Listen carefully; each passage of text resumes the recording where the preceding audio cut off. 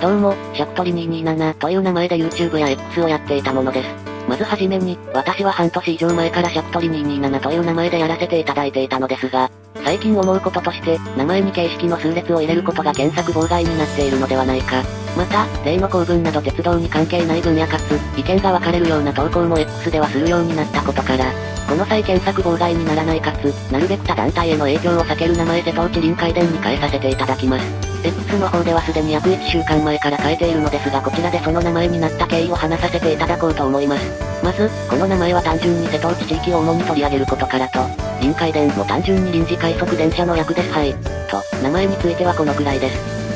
今後についてですが、まず当初は編集をほとんど行っていなかったのですが、最近は編集したものを上げるようにしています。今後もなるべくこの形を継続しつつ、視聴者に面白いと思っていただけるような動画制作を心がけていきますので、これからもよろしくお願いします。短いですが、今回はこのくらいとさせていただきます。ありがとうございました。